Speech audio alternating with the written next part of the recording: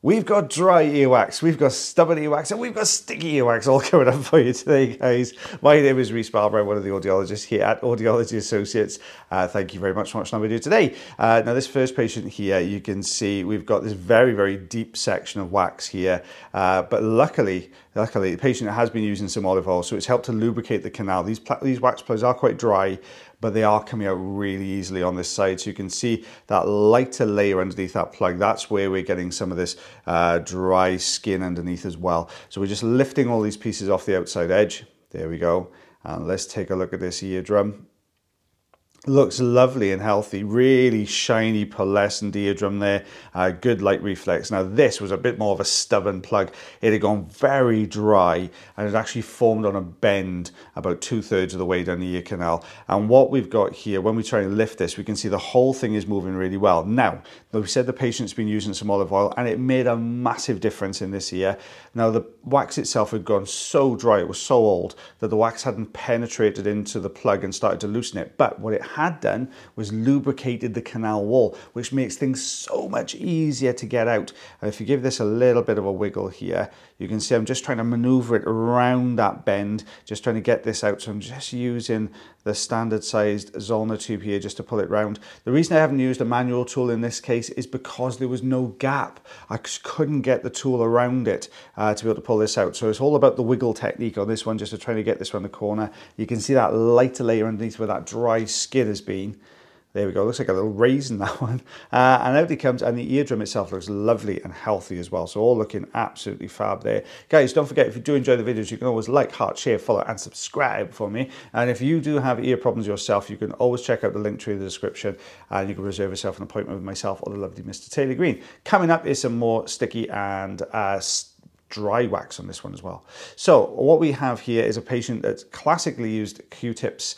Uh, we can see we've got this thin layer around the outside edge, which is stuck really firmly to the canal wall. This central depression into the wax as well. Uh, so what's happened here then is when we're using those Q-tips, what we're doing is we're drying the canal and we're compacting the wax together. So at the moment, that's made this wax particularly sticky because it's drawn all the oil out of here. It's made this, you can see that dry skin layer underneath, and that happens a lot. You'll see this on the second ear canal as well. When you're using cotton buds, it's stripping all your natural oils away. So basically what you're doing is drying your canal out uh, and it's just going to cause more problems because everything goes really dry. And in the second ear, which is obviously coming up with this patient as well, you'll see a totally different looking wax. You'll see almost, it's more uh, sort of concentrated dry skin in there, which gives it a much lighter color. We've got a good grip on this central section. This is a little bit of wiggle. This really didn't want to move. So you can see it's wiggling back and forth here just to try and get this wax plug out.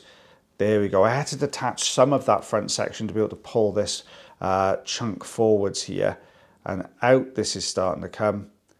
Look at that plug. It's on its way.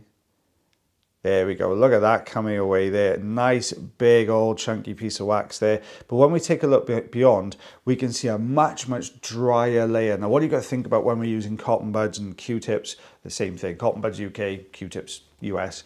Um, when you're using those, what you're doing is you're pushing the wax in. So what's going to be at the back end of the plugs is always the oldest, most compressed wax. And that's what we're seeing here is really, really dry. Um, but patient has been using some olive oil in this here as well. So it did make a big difference for us. But you'll see now, I'm going to struggle a little bit to get this down the canal because our ear canals are not a consistent size and shape all the way down. They do alter size and they do alter shape. So if you've got a, a piece of wax that's solidly formed, so it's taken on the shape of that particular area of the canal, as you bring this down the canal, it makes it so much harder because you'll hit narrower portions, slightly more bendy portions, and you've got to try and work that really dry and solid plug around those bends and through those gaps. Uh, not such an easy one to do, but we've got a good grip here and we have got this top section folded forwards and brought down the canal But look at this. I am having to wiggle my socks off here to get this out. Look at that. Out that comes. Good size plug there. And let's take a look beyond that. There's still more beyond it as well. So we're going to get a good grip on this section. Nearly. Nearly. it's almost there. You can see I've got just trying to kind of work it. There we go, that up and down movement, just trying to just to wiggle this wax down the canal. Uh, out that comes. There we go. And beyond that, we can see some staining on the eardrum as well. Now, this isn't technically wax, is just little tiny bits of debris, very thin bits, which actually stuck to the eardrum. So they pushed it that far down, it would actually stuck to the eardrum as well, uh, which is no mean feat and probably would have been super uncomfortable. But look at the difference between ear canals. When we look at this second ear canal now, what we have here is such a dry, uh, lighter colored pieces of wax and skin here. Uh, and this would have been super duper itchy for this patient, only because when you've got these dry layers of skin, especially when they're on the outer portion of the ear canal, which is that more flexible, the cartilaginous portion of the ear canal, what happens then is you've got these dry layers sitting on top of the skin. And as the jaw moves in the ear canal does this, those two layers pass one over the top of the other. And that's what gives this really itchy sensation in your ear canals. So I mean, for this patient, I would say, you know, throw your Q-tips in the bin, throw the cotton buds in the bin. What you need to do here is just use some olive oil on a regular basis. It's going to do two things. It's going to help to moisturize the canal and the skin uh, and relieve any dryness or itchiness from it, but it's also going to get absorbed by the wax, which is going to soften it. It's going to stop this from, from forming like it is. What we have with this is uh, lots of flakes of dry skin that have mixed in with the wax and then made it super hard because don't forget that dead skin is going to have a higher concentration of keratin in it, which is going to make this really, really tough. And all those are getting involved and binding together, and you form these really tough plugs of uh, mostly skin, but with a little bit of wax just forming the glue that holds it all together. Um, so we're just pulling this bit out now. You can see a much larger chunk here. Lots of these smaller pieces, the more crumbly, brittle pieces. As we're taking out the canal, a lot of this is getting sucked into the tube before we can even get it onto the paper as well. So it's coming away nicely. There we go. Look at the size of that piece there. Uh, you can see it just looks dry and brittle, that wax there. But it is coming away well. And sometimes what you'll get with these plugs is as you're pulling them out, you'll get a little bit of uh, dry skin still adhering to the canal wall and then that holds onto the wax. So you'll get the plug so far and it'll just stop because that skin is just anchoring in place.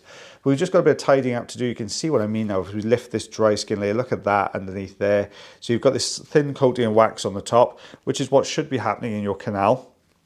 Don't forget the wax has a really important job. It keeps the ear canal nice and clean. Uh, it also forms like a little protective barrier against the skin as well, uh, so it should travel as a very thin layer from the innermost portion to the outermost portion of the canal. It only becomes a problem like this where it dries out a bit too much. There's a couple of little bits at the top here, which are mostly tiny little flaps of dry skin that need to come away. So we'll get rid of those as well. Let's give this a little bit of a wiggle. There we go can be a little bit more difficult sometimes with these smaller, thinner bits of skin. It's hard to get a good old grip on them. But the eardrum itself looking lovely and healthy there.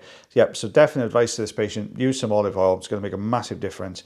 Four and a half centimeters, just under two inches worth of earwax there between both ears as well, guys. You can see the big old darker chunks from the first ear canal, the much lighter material from the second ear canal on there. Well, guys, thank you so much for watching my video again today. Thank you for bearing with us as well um, while we're super duper busy at the moment. We are still going to get some videos out.